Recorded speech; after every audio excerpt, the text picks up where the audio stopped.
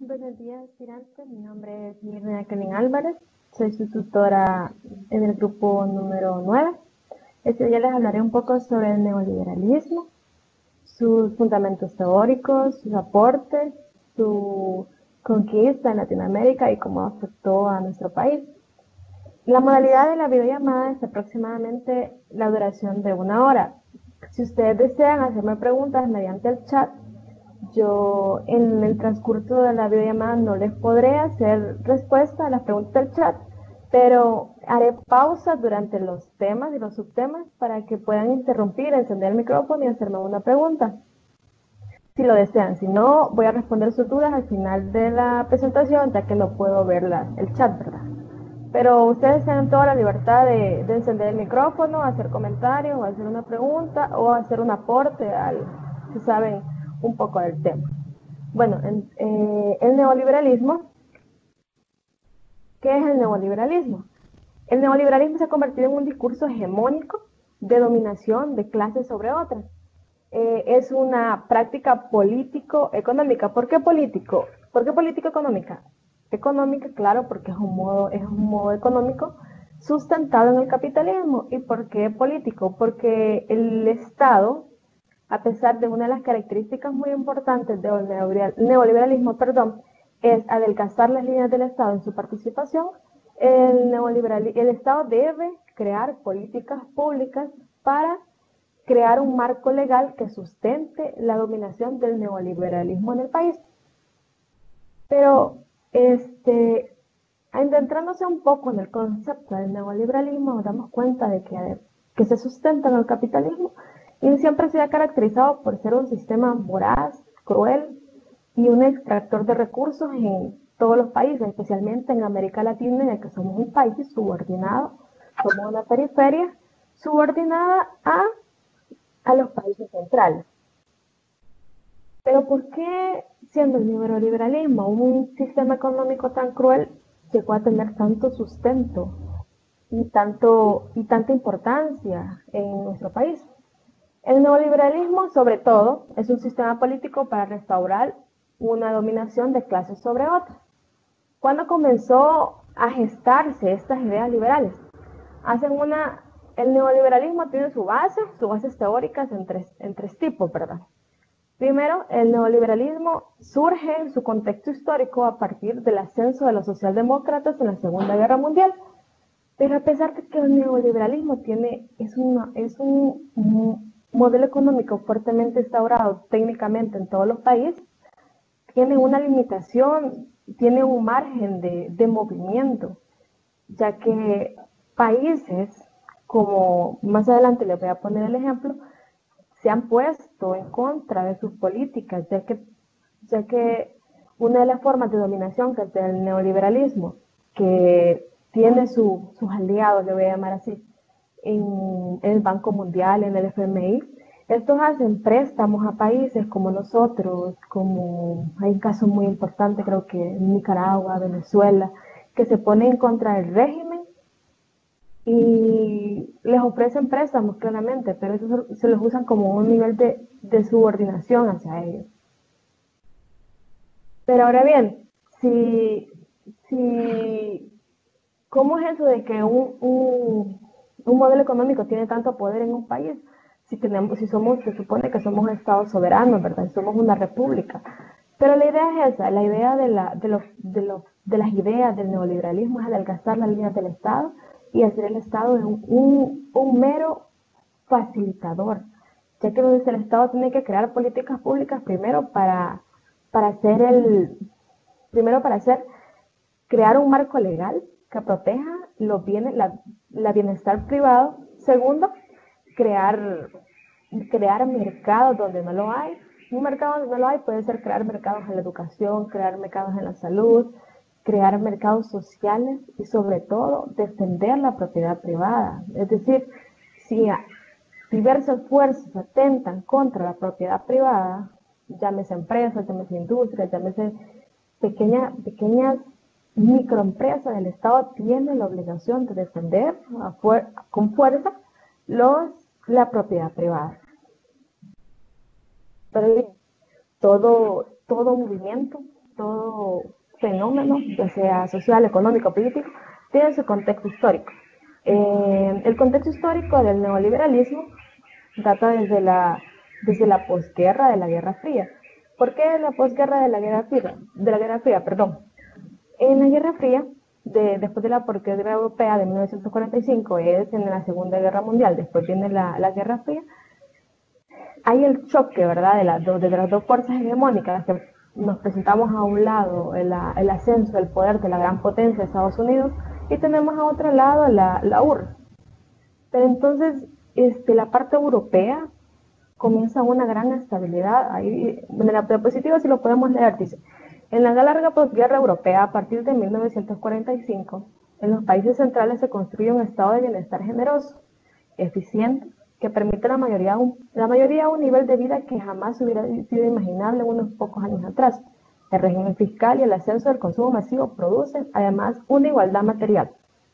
En la misma diapositiva nos dice, después de la posguerra, a, pesar de que hay un, conflicto fuerte, la Guerra Fría posteriormente, hay, un, hay una estabilidad económica, un, régimen fiscal e igualdad material. Quiere decir que que en la sana teoría todos tenemos, tenían este, las mismas igualdades materiales y las mismas posibilidades de acceso a recursos. Eh, en ese entonces se manejaba el modelo keynesiano. En el modelo keynesiano, el modelo económico keynesiano, en 1945 quizás desde, se gesta se comienza a aplicar desde antes, desde 1920, están en mercados regulados, fiscalidad progresiva, intervención estatal. En ese momento había intervención estatal, cosa que hacía como una pequeña incomodidad a los grandes grupos poderosos, especialmente para Estados Unidos. Contratos colectivos, seguridad social y políticas contracíclicas. ¿Qué significa eso? Que habían políticas que se adelantaban a posibles golpes económicos, golpe económico llámese la crisis de 1930, este, la crisis del modelo agroexportador de sustitución de importaciones, ese, ese modelo keynesiano podía crear políticas públicas, que es un, un derecho y un deber del Estado crear una política pública para adelantarse y apaciguar los golpes de las tremendas crisis económicas, por ejemplo, en los años 30 con la crisis la Gran Depresión de Estados Unidos, que, es uno de los años más bajos de Estados Unidos, y utilizaron el modelo keynesiano, es el, modelo vigente en ese entonces para apaciguar el, golpe. Este, además, en, ese contexto de 1945 y en el modelo keynesiano, en los países de la periferia, es decir, nosotros, se, se creía de que el Estado era el, el, encargado del desarrollismo ¿Qué quiere decir esto? Se, impone la idea de que, de que para, para convertir la pobreza en todos los estados de la sociedad, en todos los estratos, perdón, de la sociedad, el Estado tiene que ser el encargado de crear políticas públicas, otra vez hago énfasis en eso, que crear políticas públicas para que este, los estratos de la sociedad desarrollen. Este, hay, hay una teoría que es un poco pasada actualmente, que estamos divididos en clase alta, clase media y clase baja.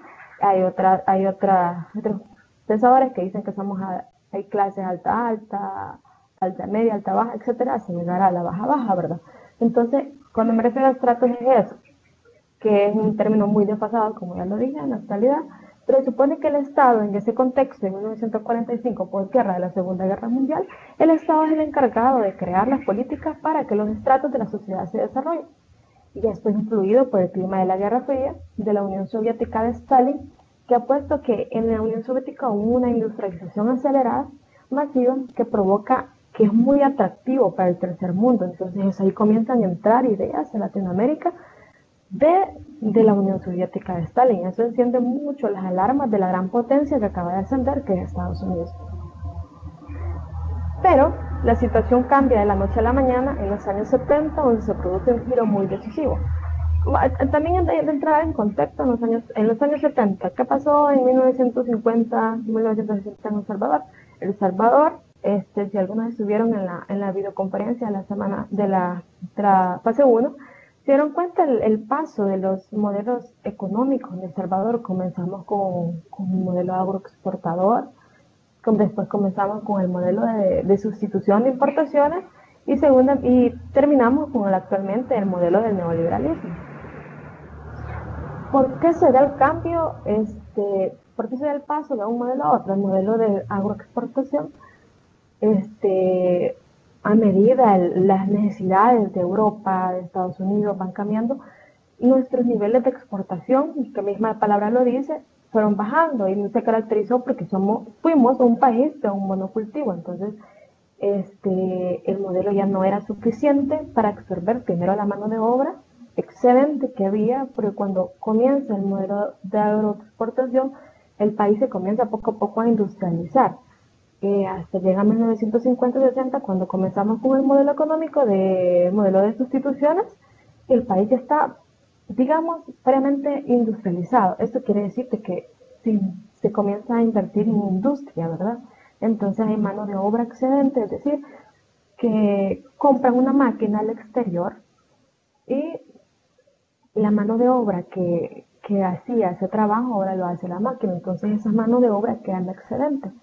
Se dieron cuenta que el modelo de sustitución de importaciones no pudo absorber esa mano de obra, por eso surge la necesidad de adaptarse a un nuevo modelo económico. ¿Por qué uso la palabra adaptarse? Porque el modelo económico neoliberal viene gestándose desde, hace, desde aproximadamente 1920-1930 en Europa por el, por el liberalismo. Muchos hacen la diferencia de cuál es la, la, frontera imaginaria entre el liberalismo y el neoliberalismo, ¿verdad?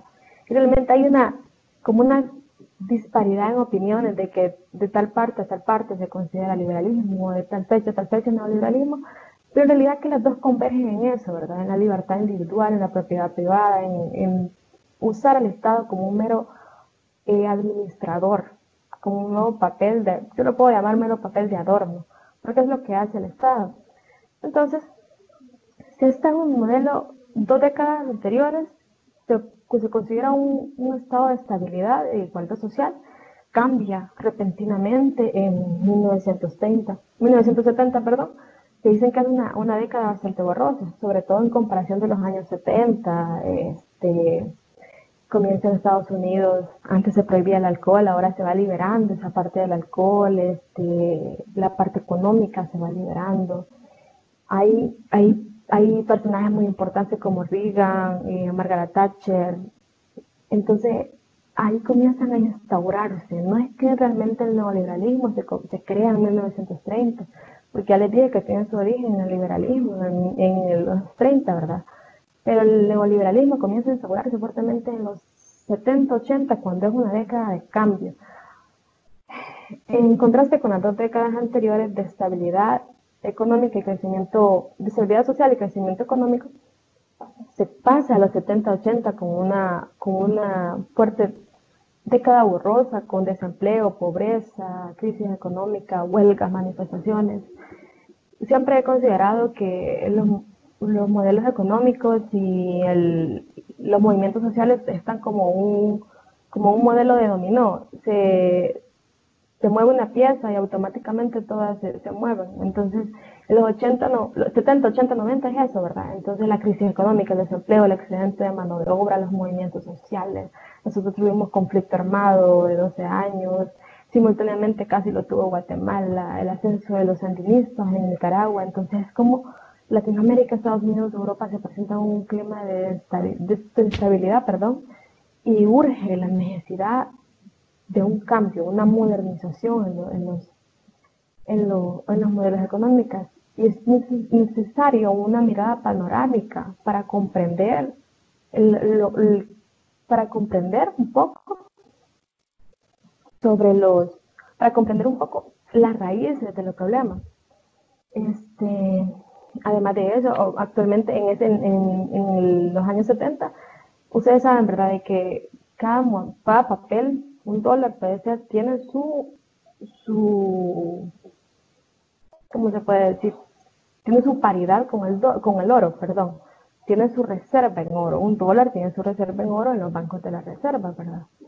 En ese entonces, aproximadamente en 1971, el, la onza costaba 35 dólares Eh, hoy en la mañana estaba viendo que ahora, actualmente con la crisis eh, sanitaria y la crisis de inflación y la recesiva económicamente, eh, la onza actualmente cuesta 2 mil dólares.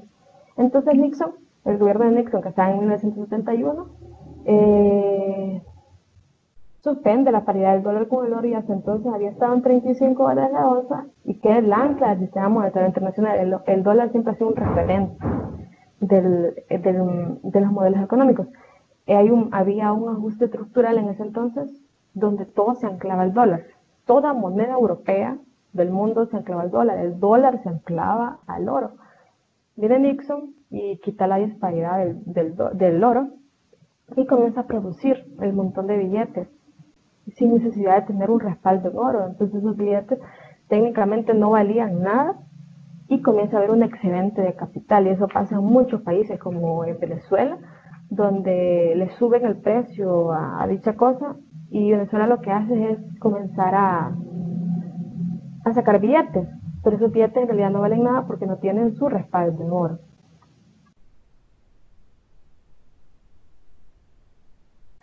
Pero, pero ¿por qué hace eso Nixon? Porque en realidad al ser un país es un referente en las libertades individuales tenía que poner, tenía que digamos, sacar la cara en cuestión de un modelo económico. Entonces, dice, la, la guerra que ellos hacen, este, el gasto, el gasto militar de Estados Unidos es muy fuerte, entonces tienen que tener un recurso como pagarlo. Comenzaron a hacer excedente en oro, ¿verdad?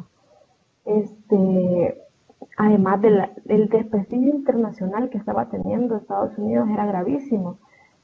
Comenzó primero con, en 1970, como ya les dije, que es un contexto de desestabilidad a nivel mundial, hace una invasión a Camboya, donde Camboya era como el suministrador de los vietnamitas. Eh, Estados Unidos le, le, declara la guerra a Vietnam y este la pierde. Fue un, creo que uno de los desastres más grandes que ellos han tenido que aceptar. Entonces decide hacer la, la, la invasión a Camboya, la pierde y además se fortalece Vietnam. Mientras tanto, en la, en la, mientras tanto en la periferia denominaba, como ya les dije, que en 1950, 60, 70, comenzamos con, el, comenzamos con la crisis del modelo de sustituciones. Entonces la CEPAL comenzó a decir de que mm, había un excedente de materia prima. Podíamos, teníamos la capacidad de producir, pero no teníamos la capacidad adquisitiva. Entonces la materia prima comenzó a ser un excedente y comienza la crisis del modelo de sustitución de importación se hace, se hace un, comienza a hacer deterioro en Latinoamérica de un modelo de que en realidad no estaba produciendo los frutos que pensaba y, y comienza la comienzan los aires socialistas en, Latinoamérica, comienza el surgimiento de la, de la trupo de los sandinistas en Nicaragua, la, la, la guerrilla de, Honduras, no, perdón, la guerrilla de El Salvador, de Guatemala, la guerrilla de Nicaragua, la revolución cubana, el triunfo eh, islámico de Irán. Entonces, todo eso converge a que, no, a que Latinoamérica se plantee un modelo, un modelo como de la, de la Unión Soviética de Stalin. Si era muy atractivo la industrialización acelerada por, un, por, un, por una idea de compartir y no consumir, entonces uno va a comenzar a sonar atractivo, además de todos los abusos que habían habido en las décadas anteriores, este, las ideas socialistas comienzan a gestarse y a tomar fuerza. Entonces, ah, se, quedan como, eso no puede estar pasando en nuestro territorio. Estados Unidos se, se plantea que necesita, necesita un, Estados Unidos se plantea que necesita un modelo económico, no solamente, no solamente un modelo económico, sino un modelo de subordinación ideológico, político y económico para tener a, su región, porque somos su región, bajo su control. Y que dejáramos afuera a Europa porque ellos ya tienen su parte y ellos necesitan seguir siendo, seguir siendo su, su patio trasero. Eso lo estaba comentando yo en la mañana, que ¿por qué, por qué, por qué Bolivia se quedó sin, sin mar porque Chile tiene una parte de un, de un desierto de salitre, el salitre se usa para uno de los componentes de los explosivos. Entonces, cuando comienzan a haber roces entre Bolivia y Chile sobre, sobre, la, sobre el pedacito que le toca llamar a Bolivia, viene y Estados Unidos se entromete, ¿verdad? Y hacer una guerra con una superpotencia, además del desgaste, del gaste político, el desgaste militar y el desgaste económico, no se puede ganar. Entonces, eso nos dice que Estados Unidos necesita un modelo económico, político, social y, económico. En la década de los 90, los supuestos ideológicos signan un inicio de la década, por un lado llamado el fin de la historia que pretendía desestimar la capacidad transformadora de la acción humana y particularmente de la acción colectiva. Necesitaban sacar las ideas del socialismo en Latinoamérica y darse cuenta que la acción colectiva no, no llega a nada. O sea, la acción colectiva, la guerra, la guerra de guerrillas no llega a nada. Y otro, el anuncio de la globalización como un nuevo horizonte de progreso, uno de, los, de las banderas que, que, proclama el neoliberalismo es la globalización en todos los sentidos. Prometió una era de bienestar asegurada para la difusión de los frutos de la revolución tecnológica. La revolución tecnológica ha comenzado, digámosle que fuertemente desde la era del Internet, que vino al, al país a partir de los 90, donde se comenzó a instaurar fuertemente el neoliberalismo en El Salvador. Entonces eran eso. Era eso, ¿verdad? Este, por un lado, se da cuenta de estimar fuertemente la capacidad transformadora de la acción colectiva y los movimientos sociales, y por el otro, este, la globalización. Entonces, la década del 90 deja descubierto el carácter fraudulento y, da pauta a la nueva apertura económica mundial tras el fracaso de la, tras el fracaso de los llamados socialismos reales. Porque, ¿Por qué llamarlo fracaso? Porque se damos cuenta de que, de instaurar un movimiento, instaurar un modelo como socialista de la URS, instaurarlo a El Salvador, instaurarlo a Cuba, instaurarlo a Nicaragua, no se puede. No es que sea un modelo económico inviable, sino que no se puede copiar y pegar a un lugar cuando un contexto social, histórico, económico, geográfico incluso es diferente. Entonces por eso le llamaron fracaso al socialismo real, porque el socialismo del, de Stalin no funcionó en Latinoamérica, por eso mismo, porque quisieron pegar y copiar un modelo que necesitaba diversos adaptes, ¿verdad? El modelo keynesiano, además de tener su fundamento histórico, tuvo sus fundamentos teóricos, ¿verdad? Durante la depresión de los años 30, la, teoría económica del momento no puede explicar las causas del gran derrumbe económico mundial, ni tampoco brindar una solución adecuada de políticas públicas para reactivar la, producción y el desempleo. la, la, Gran Depresión de los años 30 surgió en Estados Unidos en 1929, donde también hubo un excedente, la gente comenzó vieron de que el negocio del momento era comenzar a invertir en la bolsa de valores. Cuando la bolsa de valores cae en crisis, este, todo el mundo se va en crisis, hubo suicidios, la gente se tiraba, porque técnicamente habían invertido toda su vida en, en, negocios, en acciones, y cuando hubo la crisis, ya no encontraron hacia dónde ir. Entonces, uno de, los, de, los, de las excusas que usaron para votar los fundamentos teóricos anteriores al neoliberalismo fue esa de que ningún modelo económico actual en ese momento poseía la, la, solución adecuada para crear políticas públicas de reactivar la producción y el empleo, para salir de esa crisis, aunque, perdón, el modelo keynesiano, que les voy a explicar a continuación, sí pudo sacar, entre comillas, de la crisis económica de Estados Unidos. Bueno, los fundamentos teóricos del, neoliberalismo, el de cual parte el neoliberalismo, comenzamos con el modelo keynesiano. Dice Keynes, el principio central de esta escuela del pensamiento es que la intervención del Estado puede estabilizar la economía, la intervención del Estado. Keynes argumentaba que una demanda general inadecuada podría dar lugar a largos periodos de desempleo. El producto de bienes y servicios de una economía es la suma de cuatro componentes. Primero, consumo, inversión, compras de gobierno, exportaciones netas. Consumo es la capacidad adquisitiva, ¿verdad?, que tiene la, población, este, alguna empresa, de adquirir bienes, inversión. Podría ser inversión extranjera o inversión nacional, compras del gobierno, que son las compras licitadas por el Estado, y exportaciones netas. Cuando dice exportaciones netas es, es la cantidad exacta, ya quitándola de egresos, quitándola de gastos, ya la exportación neta. Dice que el aumento de la demanda y el florecimiento de la economía tiene que venir de estos cuatro componentes. Pero siempre, el modelo keynesiano siempre predice de que en la economía siempre va a haber momentos de recesión. Entonces, al caer la economía, la incertidumbre de uno como consumidor, de la persona que tiene capacidad adquisitiva, baja la confianza incluso de los accionistas, incluso de los exportadores e inversores, baja la confianza cuando hay época de recesión. Actualmente lo estamos viendo con la pandemia. El mundo actual, la economía mundial tiene un alto nivel de recesión. El Salvador tiene un alto nivel de recesión. Entonces lo que hemos hecho de que los, inversionistas extranjeros sientan un clima de inestabilidad al invertir, porque realmente no se sabe, ¿verdad?, qué va a pasar con invertir en un, en un país donde actualmente nos encontramos un poco de, de crisis, de conflicto. Entonces, las personas tienen, tienen como incertidumbre a la hora de comprar un automóvil, a la hora de comprar una casa. Ahora entra el papel del Estado según el modelo que iniciamos, que el modelo que iniciamos tiene que, tiene que tener una economía mixta. Ellos creen en la propiedad privada, pero creen que el Estado tiene que hacer un modelo de balanza, una economía mixta, para poder, para poder, para poder los auges, para poder este, impulsar los auges de la economía y poder aplacar un poco el golpe económico. Es decir, hacer el ciclo económico, un ciclo económico, recesión, auges, estancamiento. El modelo que decía que era normal.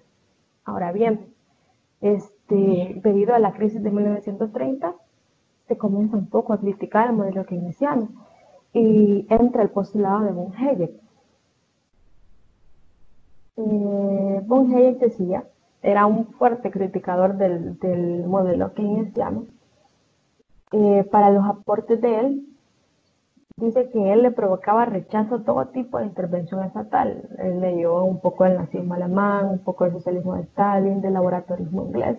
Entonces decía que todas las ideas de esos modelos económicos, de esas ideologías, tenían que converger en un modelo económico, pero siempre, siempre, siempre tienen que comenzar a adelgazar las líneas del Estado, a hacer un, el Estado a un lado en un modelo económico. Pasamos de un modelo que iniciado de una economía mixta, perdón, a, hacer, a comenzar a Hayek a decir de que el Estado tiene que ser limitado. Y dice que el Estado, Hayek no, ahí dice en la diapositiva, Hayek no duda en comparar el Estado de bienestar con la dictadura, de que para él la planificación de dicho Estado representa, representaba implícita la supresión de la libertad nosotros en El Salvador teníamos una Secretaría de Planificación que fue eliminada en 1900, en, 90, le voy a decir porque le debo un poco el año, cuando se comenzó a inserir el neoliberalismo, la Secretaría de Planificación fue eliminada. ¿Por qué? Porque el mismo postulado dice de que para él el estado de bienestar compara con la dictadura, dictadura, ya que para él la planificación de dicho Estado representaba implícita la suspensión de la libertad. Entonces, por eso nosotros se nos eliminó la Secretaría del Estado. El tercer postulado este, fue de Milton. Dice, el mercado le garantiza al individuo la libertad de aprovechar al máximo sus recursos. Está a su disposición siempre que no interfiera con la libertad de los demás de hacer lo mismo, pero no garantiza que tendrá los mismos recursos que otro. Y no hay nada que pueda evitar que se conduzca a una gran disparidad de ingresos. ¿Qué nos quiere decir esto?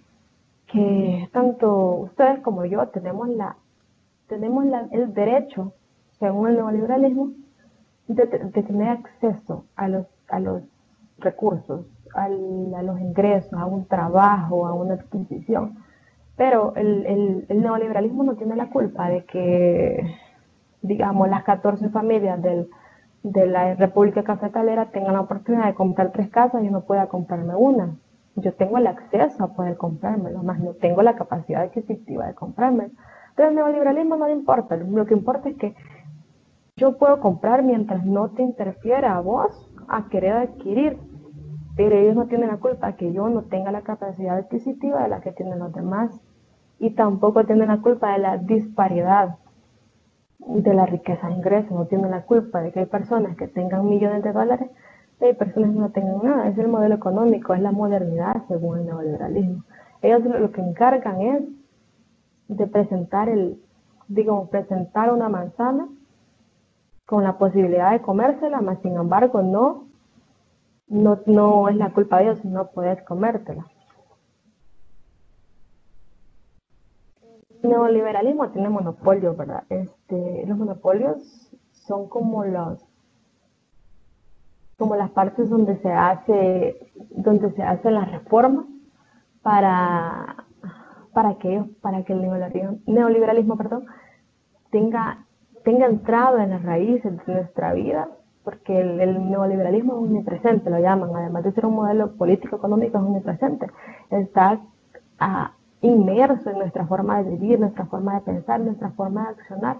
Entonces el neoliberalismo hace eso, crear monopolios para que hace un efecto de polarización entre los países de las regiones.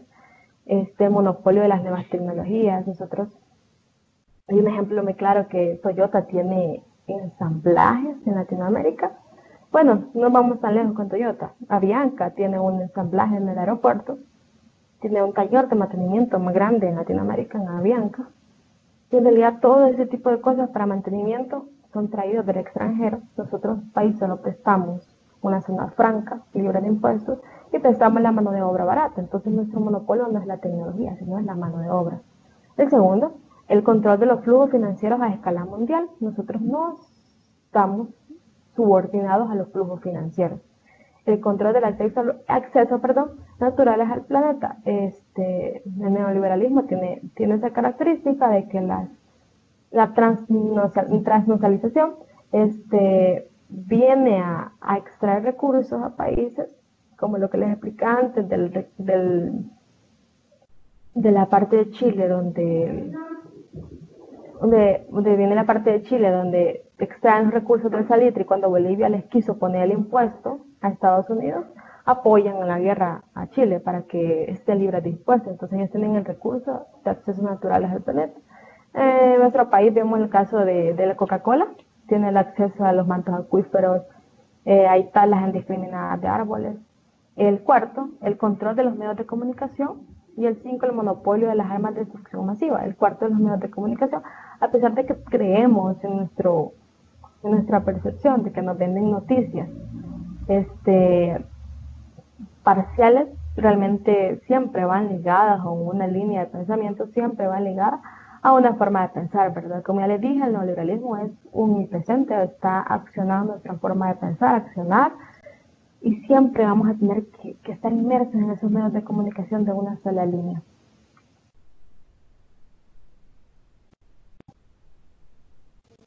La, esto es la raíz de los monopolios. crean los monopolios y el neoliberalismo tiene transformaciones a raíz de los monopolios. El, el primero es el campo geopolítico mundial, la afirmación a través del monopolio político-militar de un imperio anglosajón, siempre usando los los ejemplos de otros países industrializados para venirlos a adaptar a nuestro. El segundo, el campo político-ideológico, a partir de la difusión del pensamiento neoliberal como pensamiento único. Creo que aquí es de sentarnos a pensar de qué hay después, qué hay después del neoliberalismo, qué hay después de este modelo económico.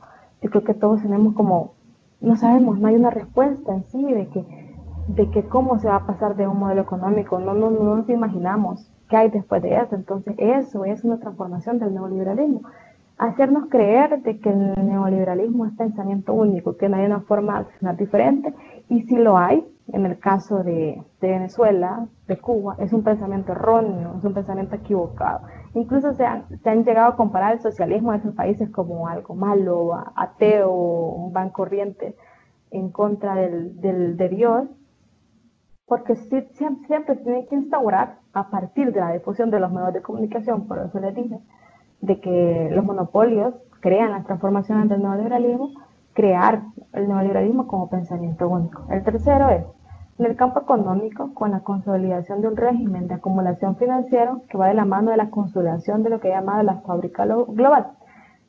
Este, el campo económico mundial es del régimen de acumulación financiera. Eso es, entre más tenés, más puedes tener. No hay un límite el campo de la tecnología a partir de la utilización y la profundización de la revolución tecnológica ha servido para, para, para facilitar la expansión financiera.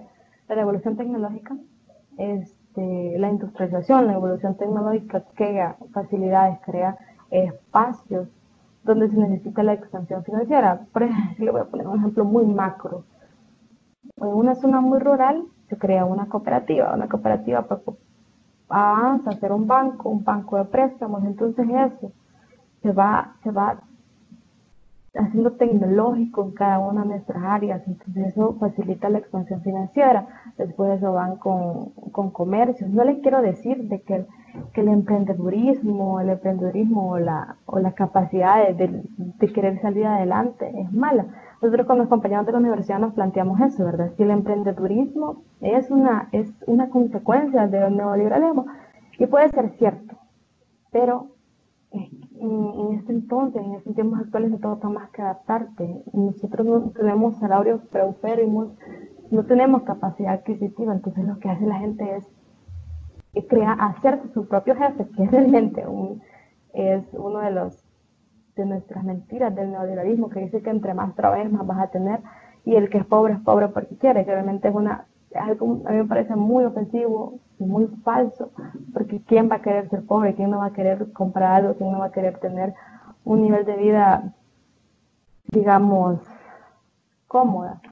Pero no nos permiten, entonces nos hacen esforzarnos más, trabajarnos más. Entonces hay gente que tiene su trabajo y se crea su, su tienda en línea de venta de cosas.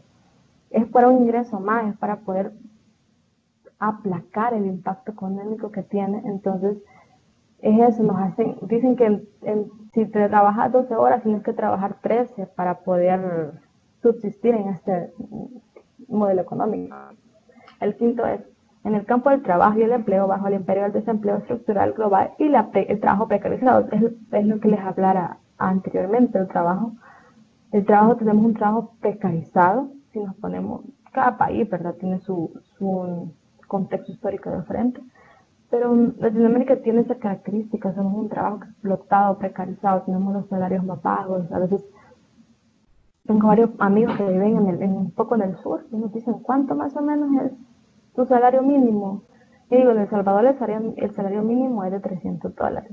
Y eso para que te alcanza, y eso me quedo pues, pues no alcanza mucho. La canasta básica en El Salvador es de creo que de 265 y el salario mínimo de 300. Solo hablo de la canasta básica y no estamos incluyendo este, servicios básicos, casa, educación, vestimenta, acceso a salud.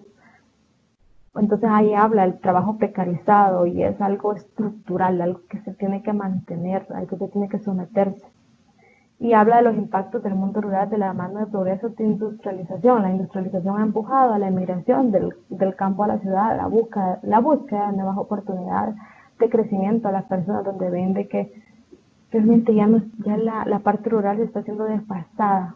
El neoliberalismo ha comenzado a desfastar la parte rural y ha obligado, porque es otra, no, no es que ha optado, ha obligado a las personas a emigrar al campo en busca de nuevas oportunidades, a precarizarse con el trabajo. Ahora bien, después de, de explicarles, ¿verdad? Un poco sobre los fundamentos teóricos del neoliberalismo, quería saber si tenían alguna pregunta hasta este punto. Si no, pueden encender el micrófono. Si tienen alguna pregunta, pues me la pueden dejar en el chat. Buenos días. Buenos días. Eh, yo tenía una pregunta acerca de los diferentes monopolios del neoliberalismo.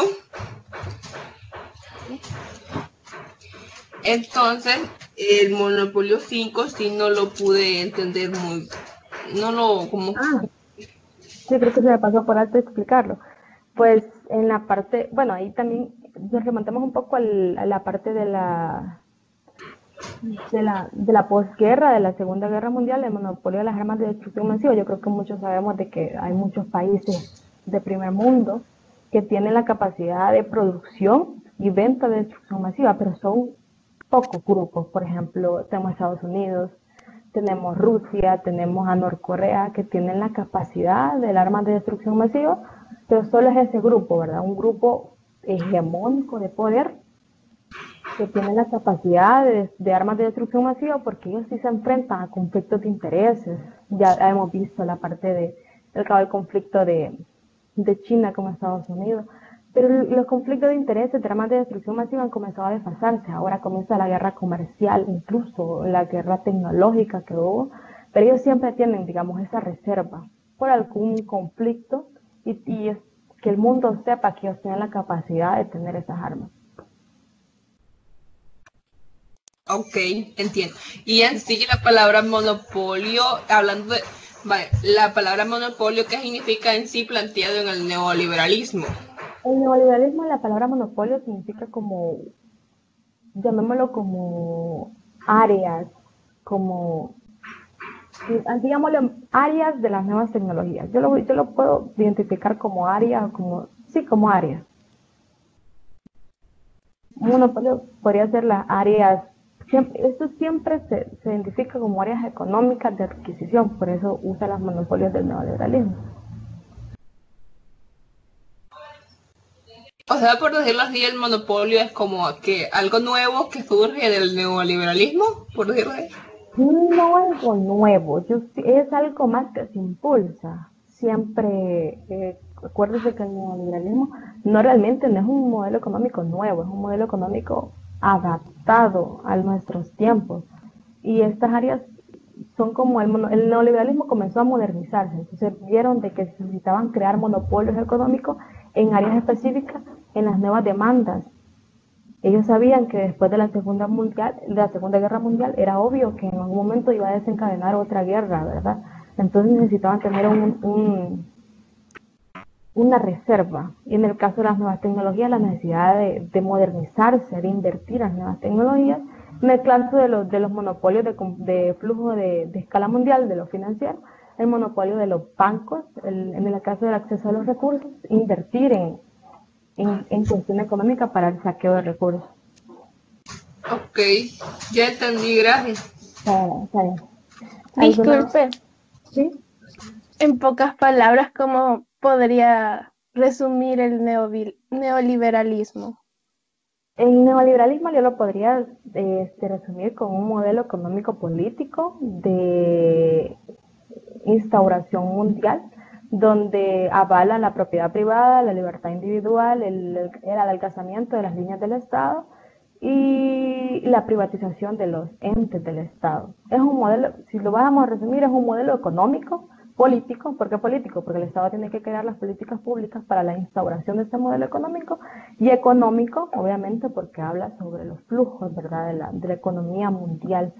Hay países de que este, se ponen en contra, ¿verdad? Norcorea es uno, de que ellos no, ellos no avalan el neoliberalismo, se han cerrado las fronteras a eso, pero técnicamente en todo el mundo está instaurado este modelo económico ya que estamos ligados a un, a un imperio que es Estados Unidos, que es el técnicamente el que impulsa el neoliberalismo en Latinoamérica. Así lo voy a explicar un poquito más adelante. ¿Otra preguntita?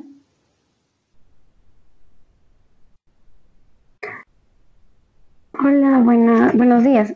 Este, disculpe, ah, hubo algo que no me quedó muy claro que era sobre el nuevo imperio anglosajón.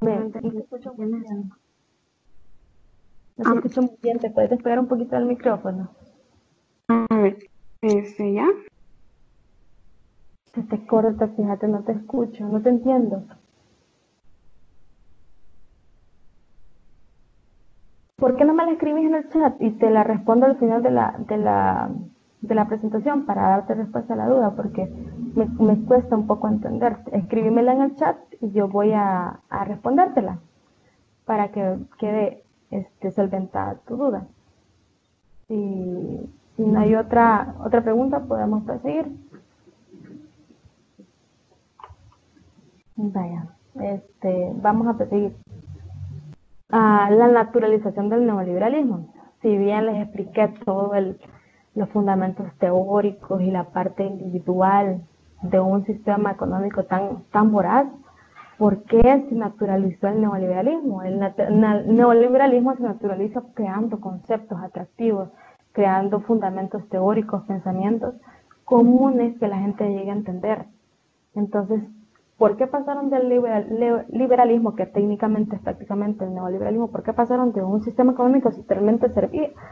Porque llamarlo un sistema económico liberal perdón, individual ya no sonaba atractivo. Necesitaban modernizarse, adaptar el neoliberalismo a los tiempos actuales, a crear instintos, sistemas de valores propios.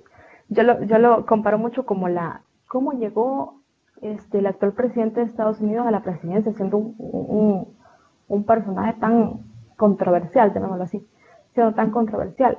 ¿Por qué este, tuvo, ganó la presidencia? Porque el presidente Donald Trump aboca el, el, como es el estado, ser estadounidense lo abocó en la población, identificando enemigos principales. Primero identificó a los inmigrantes, este, el, sistema proteccionista diciendo que este, América para los americanos.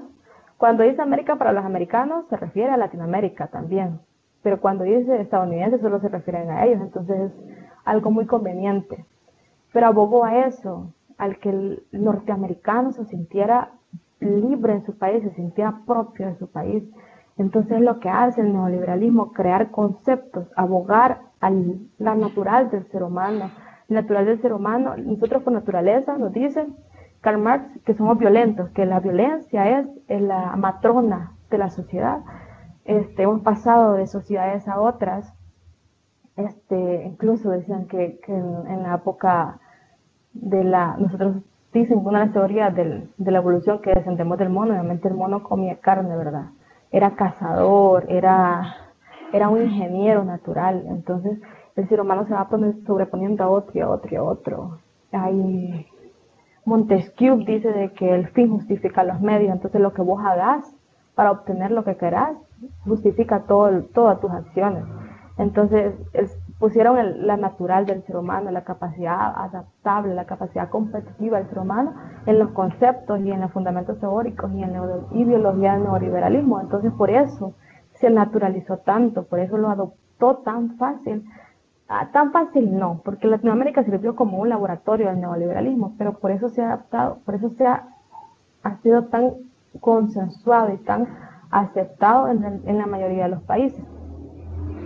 Este, no es sorprendente de que, de que los del, país que se supone que es el, el país de la libertad, que es Estados Unidos, hace manifiestos de, de la libertad individual.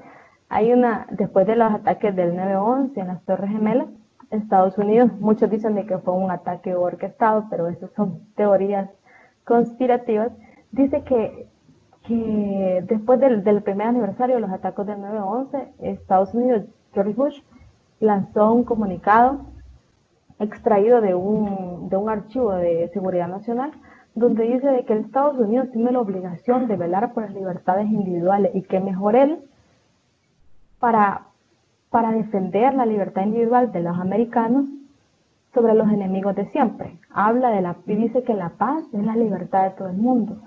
Usó, le, hicieron mucho énfasis en esa palabra, la libertad la, es la paz y la libertad de todo el mundo, cuando simultáneamente estaba preparando el ataque contra Irak. Entonces, entonces, este, no, no, ellos hacen no hacen la práctica contra la, con la teoría.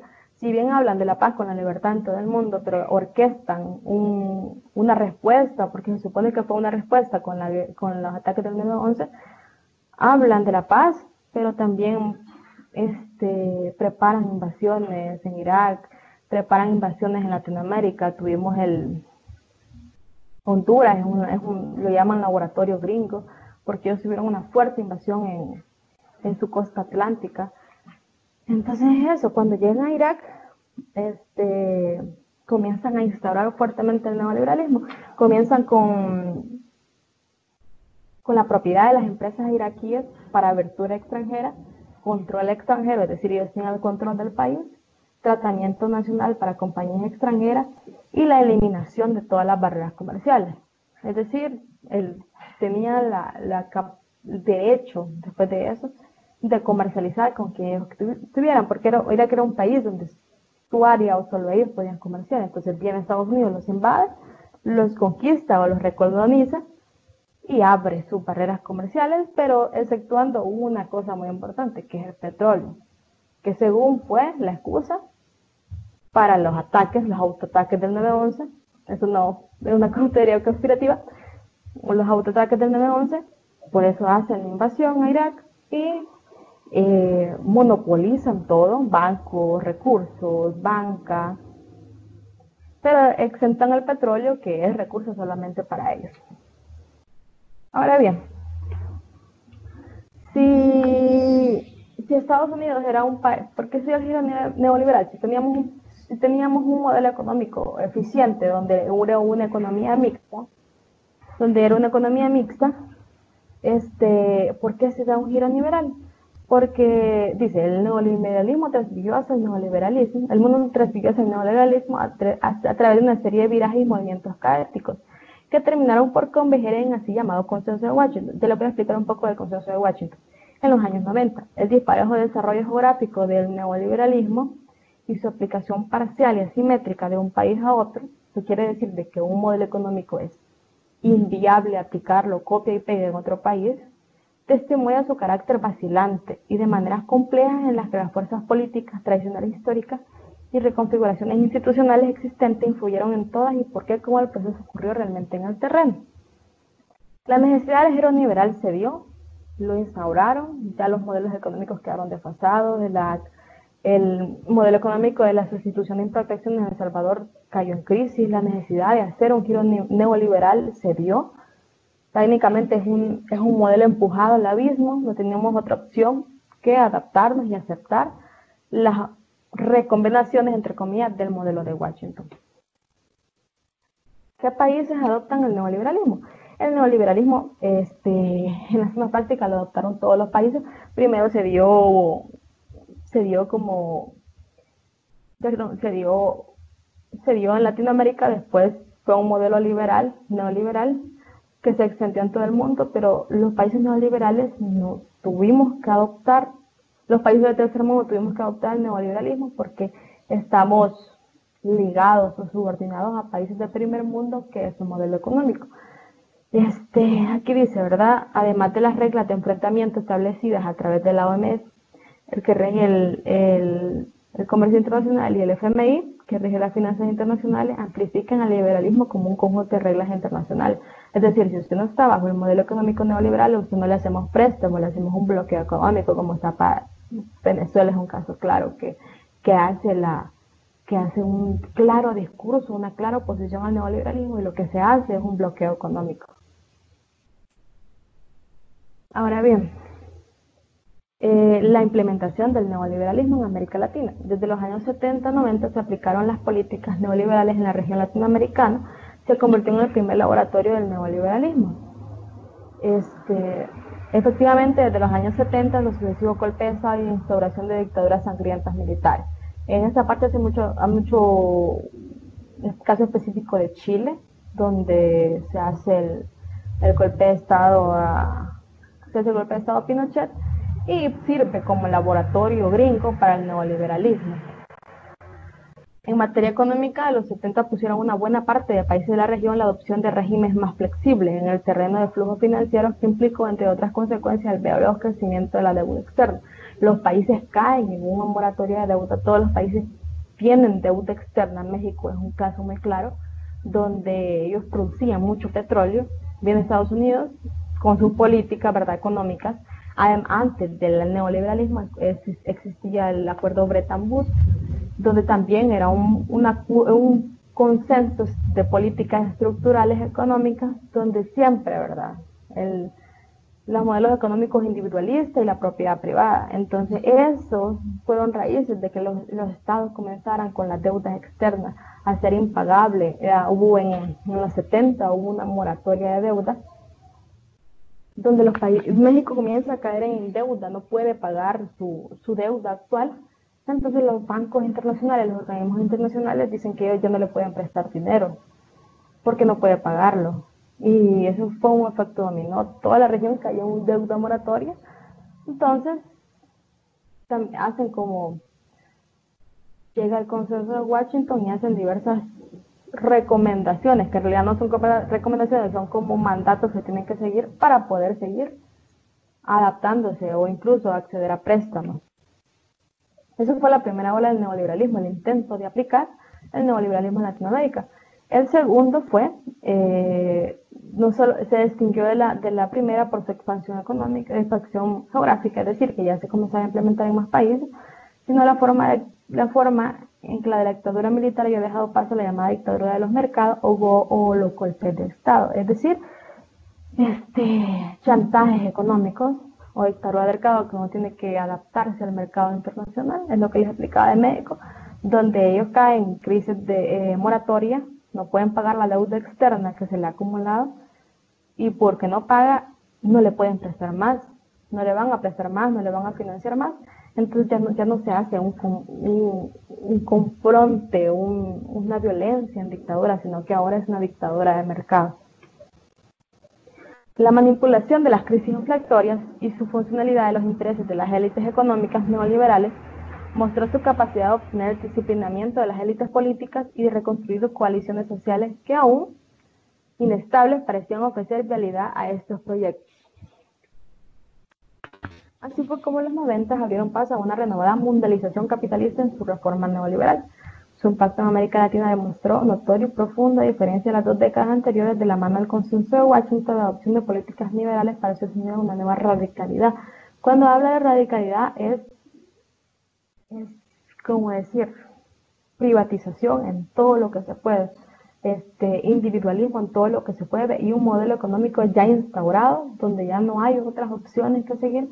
Entonces es como nadar a corriente con el modelo económico radical de que es un cambio brusco. Nosotros nos hicieron el cambio brusco, la privatización de la banca, la privatización de, la, de las telecomunicaciones, la, la, lo que nos hicieron privatizar la salud, la lucha del agua, la privatización de los recursos naturales. Entonces, es un modelo económico radical donde solo busca el bien común este, para poco, para una pequeña élite. Se supone que es una se supone, ¿verdad?, en la teoría que es una riqueza este, extendida, eh, que nosotros tenemos acceso a esa riqueza, pero en realidad no. En realidad eso fue el experimento de Chile. Chile sí presentó, un, cuando se instauró el modelo económico liberal, Chile sí, sí presentó un crecimiento económico hasta del 16%, pero siempre a la pequeño grupo poderoso, al pequeño élite, siempre era de entre, entre, ellos les va mejor, a la persona les va más mal, y entre más mal le va a la persona, al pueblo, mejor le va al grupo económico, ¿verdad? No, ¿verdad? Bien. Este, siendo un modelo económico tan, tan extendido y, y internacionalizado, ¿por qué el consenso de Washington? ¿Qué es el consenso de Washington? Y cómo se instauró las políticas neoliberales en América Latina. La región latinoamericana ha alternado diversas fases de crecimiento y estancamiento de crisis, eso se en todos los modelos económicos. Los orígenes de estas fases están ligados al ritmo de la economía mundial. Al, adoptar modelos económicos externos, mundiales, estamos ligados al ciclo económico, ¿verdad? Estancamiento, crisis, auge. Si a ellos les va bien, a nosotros medio.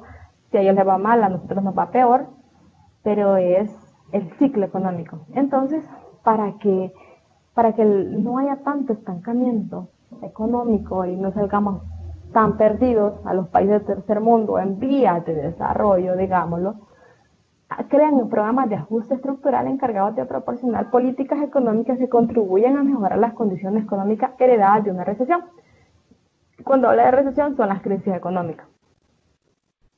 Uno de los primeros programas de ajuste estructural adoptados por algunos países de la región fueron los acuerdos de Bretton Woods en la década de los 40. Ese es el que estaba vigente y ese también tiene un modelo mixto con el modelo keynesiano. Cuando ya los pensadores neoliberalistas comienzan a, desfasar el Bretton Woods, tenían idea de, de eliminar el modelo keynesiano, que el modelo keynesiano es la economía mixta. La, estrategia norteamericana terminó por imponerle sus diseños y entre los acuerdos de Bretton Woods se estableció el dólar estadounidense como patrón de cambio debido a la fuerza política y económica que Estados Unidos había adquirido a término de la Segunda Guerra Mundial. La Segunda Guerra Mundial, Estados Unidos surge, asciende, la, la palabra asciende como superpotencia, entonces todo está ligado. Como les dije, ¿verdad? En los acuerdos de Bretton Woods, toda modelo internacional se liga al dólar y el dólar se liga al oro. Entonces todos parten de ser un, referente a partir del dólar. El dólar es como, creo que todos sabemos, una moneda internacionalizada en todos los países, se rigen bajo eso.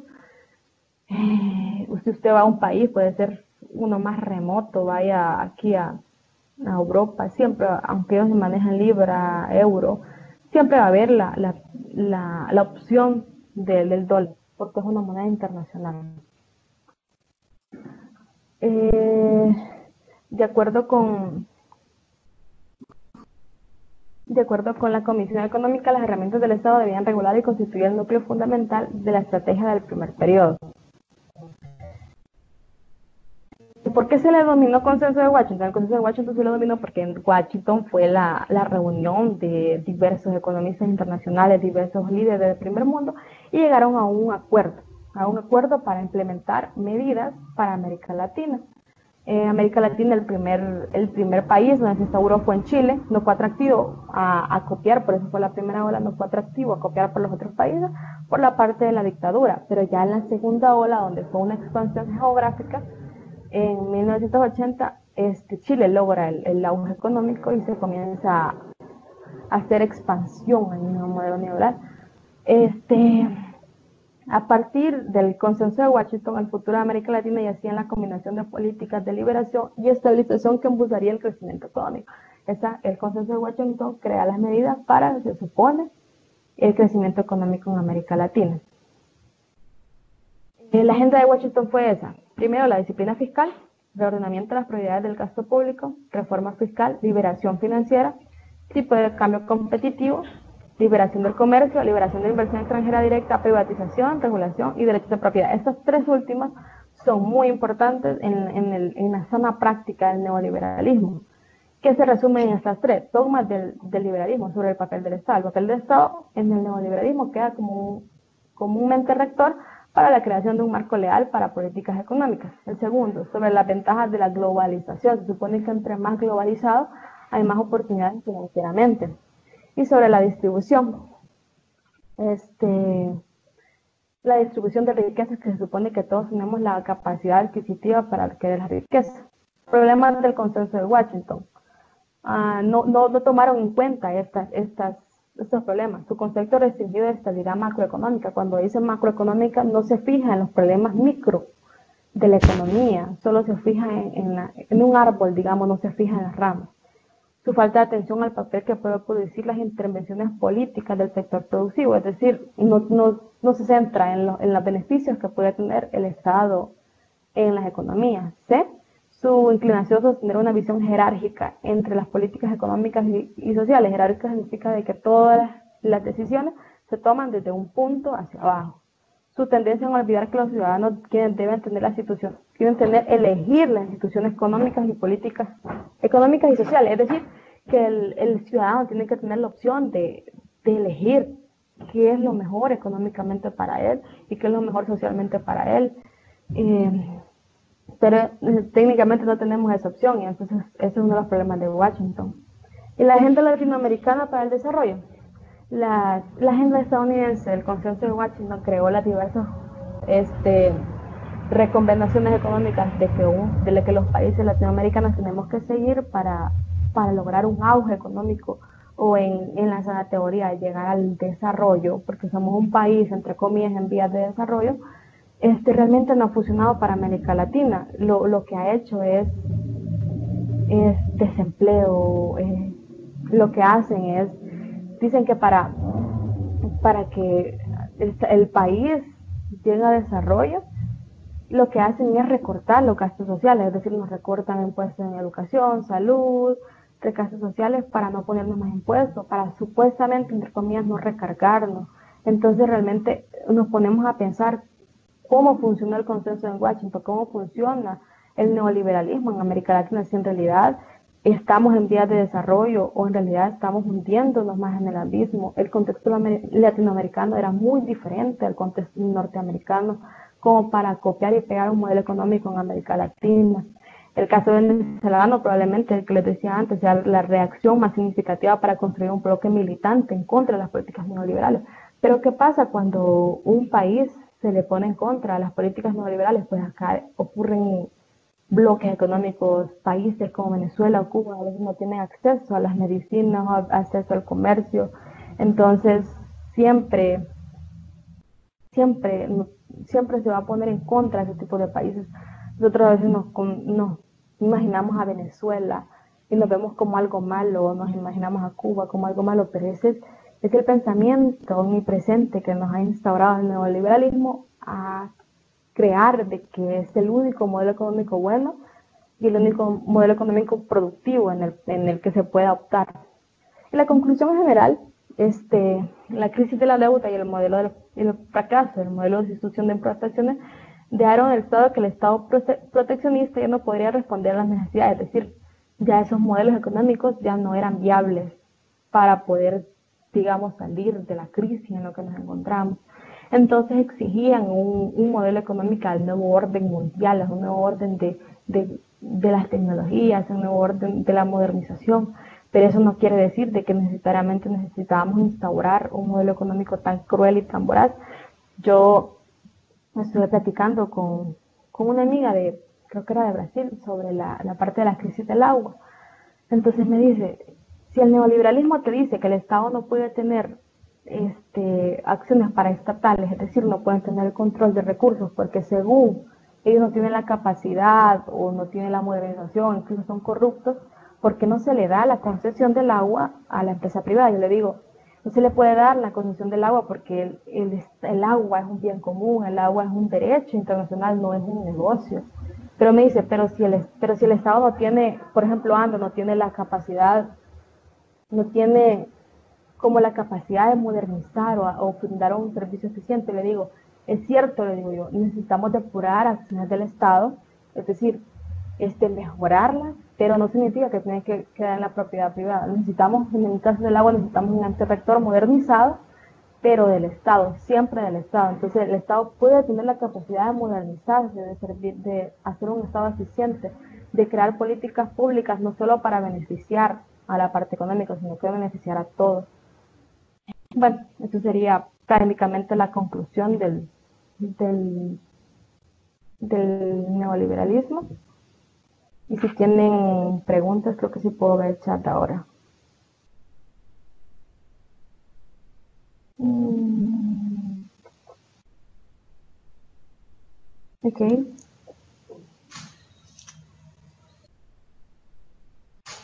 Acerca de los dogmas de la fe del neoliberalismo. Sí, se lo voy a poner acá. Permíteme. Estaba.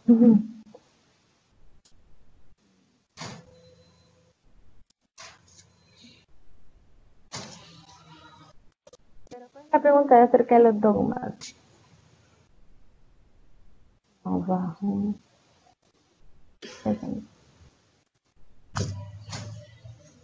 ¿Cuál fue el problema? ¿Cuál fue la duda con la parte de los dogmas? la pregunta es cómo influyen los dogmas acerca del neoliberalismo, o sea, ¿en qué relación tienen los dos? Vaya, este, en la, creo que parte de esto, la agenda, la agenda de Washington da estas recomendaciones, ¿verdad? Este, disciplina fiscal, reordenamiento, reforma fiscal, etcétera, hasta llegar a punto de la privatización, de regulación y derechos de la propiedad. Cuando hablo de dogmas del neoliberalismo es una creencia fija, ¿verdad? Sobre el papel del Estado, de sobre las ventajas de la globalización y sobre la distribución. Los dogmas es como la bandera blanca donde el neoliberalismo se presta a decir de que esto es su fuerte, esto es donde se tiene que aplicar. Las dogmas del neoliberalismo sobre el papel del Estado es hacerla a un lado y que le comience la propiedad privada sobre las ventajas de la globalización, que dice que entre más globalizado nos irá mejor económicamente, y sobre la parte de la distribución, que dice que todos vamos a tener acceso a, todos los recursos, por eso es la parte de dogmas, porque es como la parte fundamental donde se centra el neoliberalismo. Oh, ya, ya entendí. Eh, ¿Puede volver? Está, está bien. eh, puede volver la dispositiva a los modelos antes del neoliberalismo. Este, fíjate de que no tengo la parte de los modelos antes del neoliberalismo, pero esto, eso lo expliqué en la fase 1 de la, videoconferencia y todavía tengo las diapositivas. Si querés, te puedo pasar las diapositivas, este, pero haciendo como un resumen general, en los modelos económicos antes del neoliberalismo fue el primero, fue el modelo de agroexportador, donde El Salvador exportó los granos básicos, ¿verdad? Cacao, bálsamo, café, algodón, eh, azúcar. Nos convertimos en un monocultivo.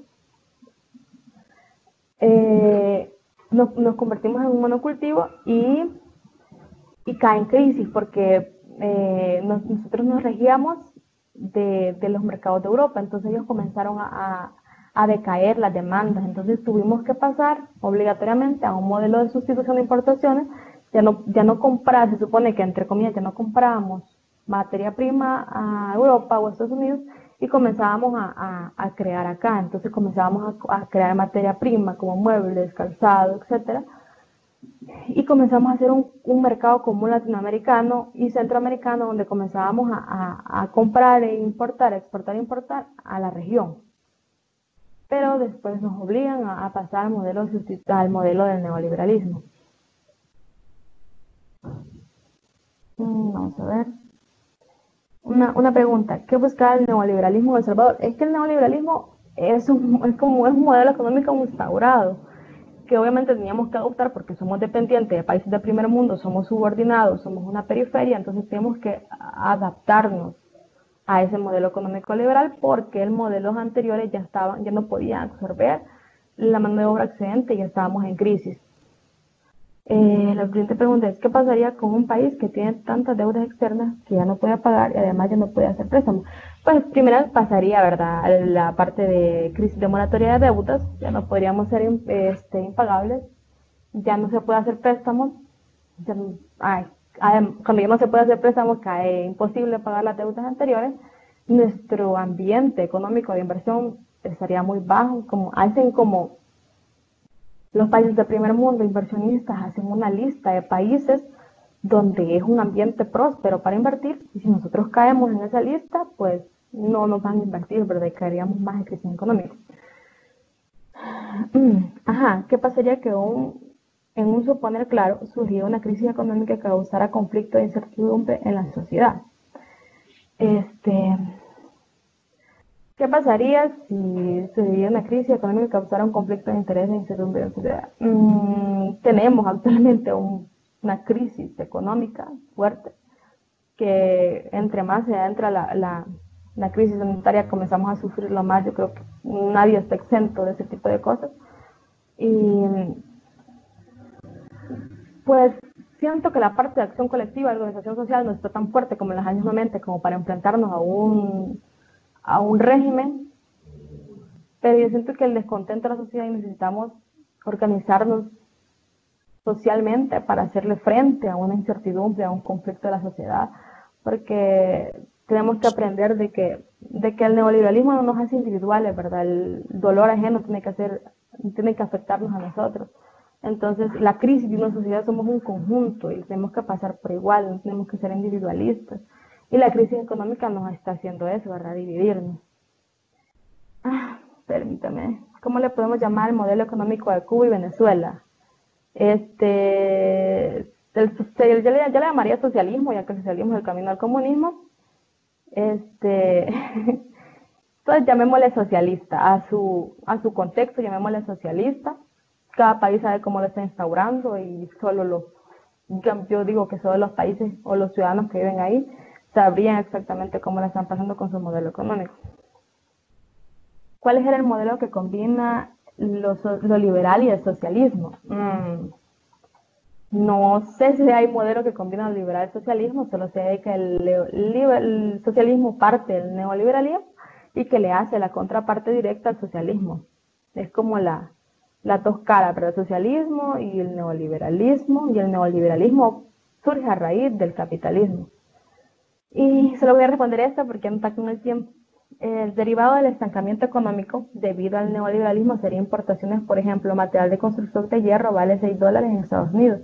Pero en Estados Unidos el salario permite comprarlo sin tanta complicación y ese producto, al ser importado a Salvador, un país con salarios precarios, vale 8 o 9 dólares, ¿qué tanto, ¿qué tanto impacto causa? Pues Este, eso, me pasa, eso nos pasa a todos cuando vamos a un restaurante, eh, a un restaurante transnacional. Por ejemplo, sin hacer, sin hacer una marca específica, vamos a, una, un restaurante de hamburguesas y una hamburguesa nos cuesta 6 dólares. Si ustedes se van a los precios de Estados Unidos en los restaurantes es igual o menos. Entonces nos están dando, lo, nos están dando, yo siempre lo he dicho aquí, nos dan los precios en El Salvador en dólares, pero realmente seguimos ganando en, colones. Entonces, el impacto que causaría es de que nosotros nos regimos, nos quieren, nos regimos por el comercio internacional, pero realmente nos, nos dan los precios del comercio internacional, pero no dan la capacidad adquisitiva. ¿Qué pasa cuando se piden aumento de salario? Nos dicen de que no pueden dar un aumento de salario porque las, las, economías quiebran. Pueden ah, darle el aumento de salario pero reducir personal. Pero los precios en el mercado, los precios de la canasta básica, los precios adquisitivos son precios internacionales, pero nuestro salario es salvadoreño, es en colones todavía, es, es, muy, es muy precario. Creo que aquí termino. No sé si hay otra pregunta. Solo quiero recordarles de que eh, se ha habilitado una prueba de ensayo del, del, examen de admisión de la, de la U y dura aproximadamente dos horas, entonces pueden comenzar a, a probar, a probar sus, entre, valga redundancia, sus conocimientos en, los, en las semanas adquiridas y pueden hacer la prueba de ensayo, está actualmente en la plataforma. Entonces, quiero solamente agradecerle su, su participación y en toda la semana va a haber videoconferencias. Así que muchas gracias por su participación y los veo, los veo pronto.